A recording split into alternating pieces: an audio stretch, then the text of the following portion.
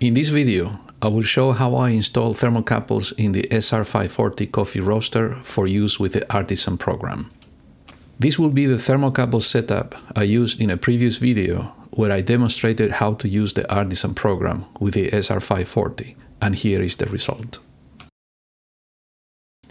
The instructions to connect two thermocouples to Artisan can be found in the Artisan documentation shown here. These are the instructions I used. First, I purchased all the components specified in the instructions from Phidgets and connected them together as shown here. I also improvised the stop made of a paper clip, washers, nuts and screws for the environmental thermocouple. Later in the video, you will see how this stop is used. I also improvised a simple way to keep the parts together and provide some cable strain relief using a piece of wood and cable tie wraps. Next, I downloaded and installed the Phidgets library in my computer. There is a version for Windows and another for macOS. I then connected the USB cable to the computer. Once you install the Phidget libraries, the Phidget control panel is available. To verify that everything is working, I launched the Phidget control panel and navigated to the thermocouples input 0 and 1 and verified that they are reading correctly. At this point, the thermocouples are ready for Artisan. Next is a one-step configuration in Artisan to set up the thermocouples input. All you need to do is click Yes.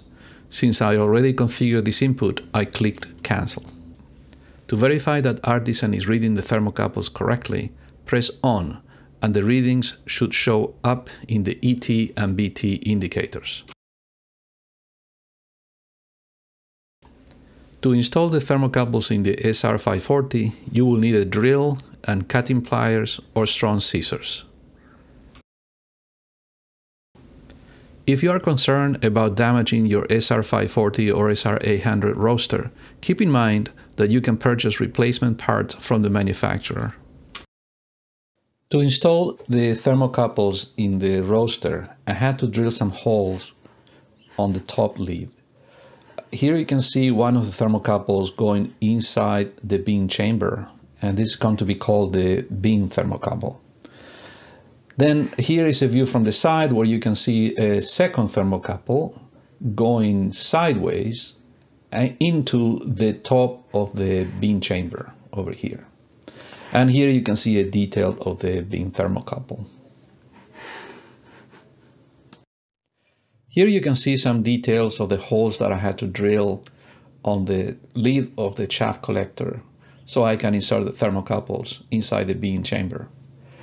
First, here is the hole that I drilled for the bean thermocouple.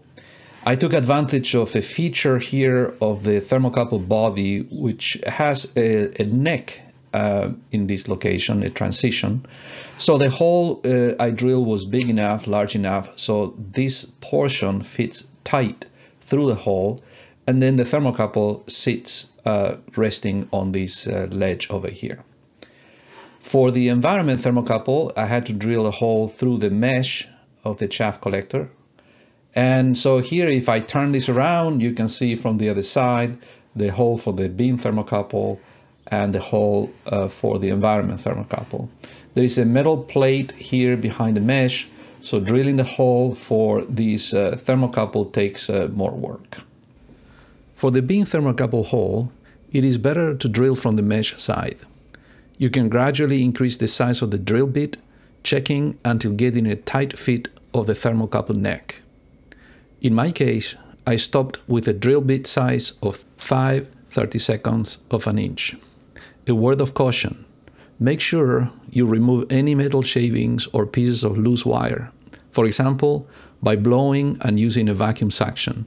You do not want any of these pieces falling into the roasted coffee beans and ending up in your grinder or in your coffee drink. For the environment thermocouple hole, I found it easier to use small cutting pliers to cut a section of the mesh on top of one of the cover slits. Probably a pair of strong and small scissors would work as well. Again, Take care to remove any loose pieces of mesh wire, although here it is not as critical. Okay, so if we look at the underside of the chaff collector, once the thermocouples are inserted, you can see here more details.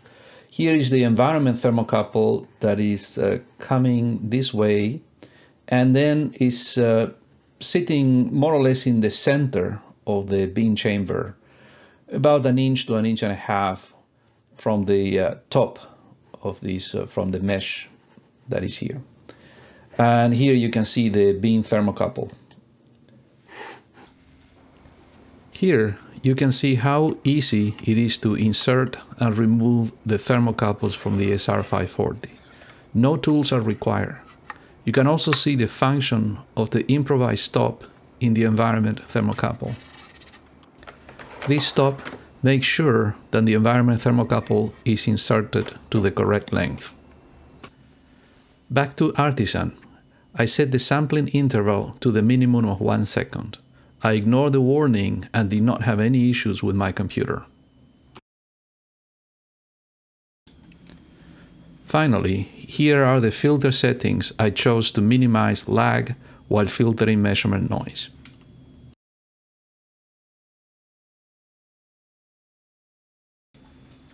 Here are the results I got in the demo roasting using these filter settings.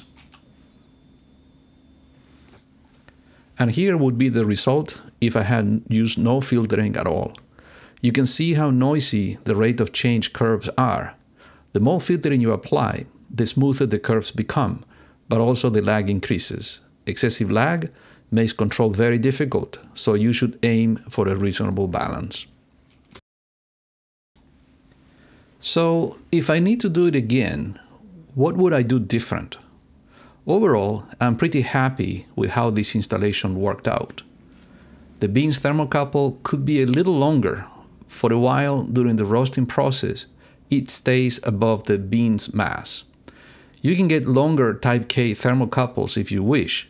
Phidget also has a longer version. However, I doubt this will make much difference. The important thing is to have a repeatable setup so once you find the roasting profile that you like, you can easily repeat it. It might also be possible to have this repeatable setup with only the environment thermocouple. You can see how well the environment thermocouple, the red curve, tracks the beans thermocouple, the blue curve. So why have both, especially if you can avoid drilling the lid? The BT to ET ratio in the region of interest is about 1.04. Artisan has a way of adjusting the temperature reading using symbolic adjustments in the device's menu. Here, you can see how to multiply ET by 1.04. This would give you a reading from this thermocouple close to what you would get from the bean thermocouple BT.